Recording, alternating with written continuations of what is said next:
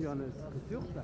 Türkiye'nin gündeminde erken seçim var. Sizce erken seçim olmalı mı? Olmalı. Bir an önce olmalı. Bir an önce. Ne kadar erken olursa öyle şu dün e, televizyonlarda görüldü. Adamlar e, şeyleri kapattılar, o lokantaları kapattılar sözde. Sözde lokanta kapalı.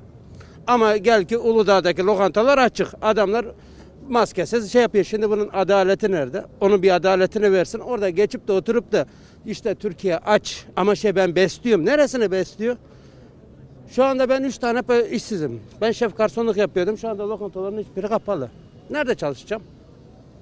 Elimde bir mesleğim yok. Benim mesleğim şef garsonculuk. E şimdi ben gideyim amelilik mi yapayım, hırsızlık mı yapayım, ne yapacağım? Hadi bunu AK Parti düşünsün. Şimdi çıkıyor milletin önünde. Yok ben oy veriyorum, ben şöyle diyorum, ben milleti besliyorum. Hangi milleti besliyor burada? Hadi gelsin konuşsun. Çocuğunu alıp da e, tabii onların şeyi yerinde, ağlar yerinde. Yani şu anda ben istiyorum. Aa, ben şunu da söyleyeyim özellikle yayınlanacaksa ben oy vermeyeceğim. Hiçbir partiye oy vermeyeceğim. Cezası neyse ben yatacağım. Ya cezasına razıyım şu anda düşün. Açım, susuzum. Elimde elektriğim kesildi. Sözde 2-3 aydan sonra elektrik kesilecek dedi. Ayın gün gelmeden çalışmayınca bu elektrik nasıl ödenecek? Su nasıl ödenecek? Kira nasıl ödenecek? Hadi buna yanıt versin. Vermiyor hiçbir yer bir iş vermiyor şu anda. Böyle gelip de Allah'ını seversen konuşup da yani şu anda istiyorum. Şu anda düşmesini elimde gelse şu zaten bizim millet konuşmaz. Şu anda gelsin 50 kişi şuraya çıkar el sallar. Niye? Sallamasın kardeşim sallamasın. Defolsun gitsin yeter artık. Ben ne CHP'liyim ne şeyciyim ben MHP'ciyim ama gel ki açım artık aç aç. Bunu artık Türkiye şu insanların hangisine gelse sorsan hangisi hepsine git sor aç. Zengin adam var mı? Ha bu devirde dolandırıcılık yapacaksın ki kazanacaksın. Hırsızlık yapacaksın ki kazanacaksın. E biz bankacı olmadık ki milleti araklamadık. Yani bunu sen e, ben istiyorum abi. Ben açık açık istiyorum. Düşsün. İyi bir adam da yok gelecekte. O da yiyecek Türkiye'yi de. Yani iyi bir adam yok da. Ama yapacak bir şey yok. O adam bilsin. Bir de çıksın milleti bir görsün. O televizyona çıkıp da 90 gün oldu. 90 gün biz ne yiyoruz ne içiyoruz? Hadi söyle. Ben telefonumu sattım. Şahsen ben kendi cep telefonumu sattım. Telefonsuzum.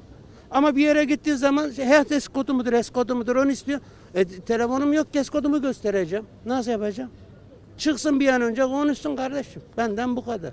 Yani şu millet de artık uyansın mı, uyanacak mı, ne yapacağız yapsın. Açlıktan yoksa birbirimizi öldüreceğiz yakında kıvama geldim. Ya bazen ben plan da kuruyorum. Diyorum ki hırsızlık mı yapsam diye. Ben kuruyorum. Kurmuyorum değil. E, yiyeceğim yok, içeceğim yok, sigaram var. E bunu nasıl yapacağım? Ya kesin bir şey çalacağım. Ben açık açık diyor. Gerçekten Ha, yani bunu olanlara ya vermiyor ya televizyonda çıkıp da. Allah'ın adam olana veriyor ya adam olmayana vermiyor ya onu biliyorum ya. Gidek ha şu anda AK Parti para versin. binasına gidek otur diyor ki bana 1 lira ver vallahi vermez. Vallahi vermez. Adam olacak.